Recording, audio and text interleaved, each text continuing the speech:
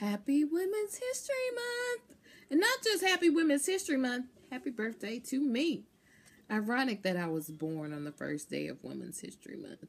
Although my dad used to say I was a leap year baby, but mm, yeah, I was born in an odd year. Good one, Dad. Good way to get out of giving me a gift.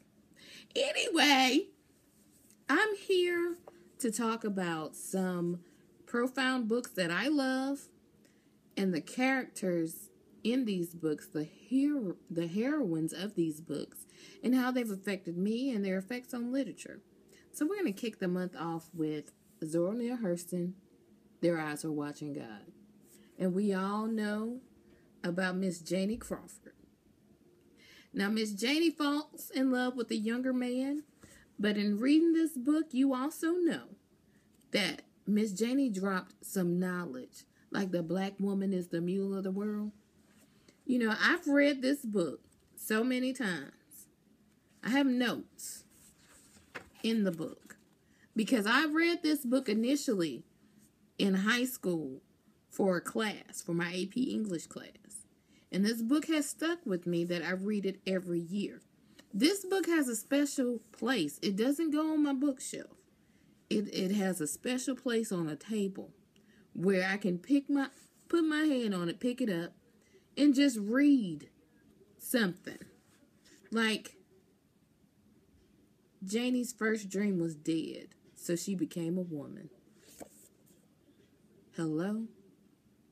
I mean, just that statement right there is so profound. You know, this book talks about the sacrifice that women make and have made for millennial to get along and and take care of family, take care of everybody but ourselves. So then when we make the decision to follow our hearts like she did with tea cake, then we're judged. You know, and we have to rise above the BS in order to be our true selves and to live our truths. This book was first published in 1937, and it could not be any clearer or ring any more true today than it did back in 1937. We all know a Janie. We all know we we got Janies in our family. We have that auntie, that grandmother, that mother, somebody that somebody told her she couldn't do it and she did it. And probably because she did it, a lot of us are here. So thank God for that. So the star of the first day of Women's History Month is Zora Neale Hurston and Janie Crawford, and their eyes were watching God. Now, I can talk about the impact that this book had on my life, but I'm not trying to bore y'all.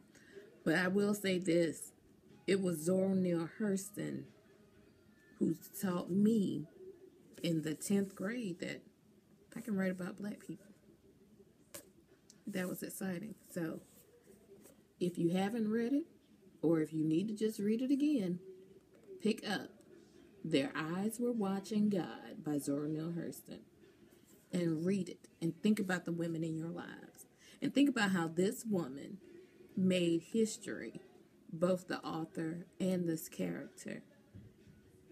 And enjoy Women's History Month.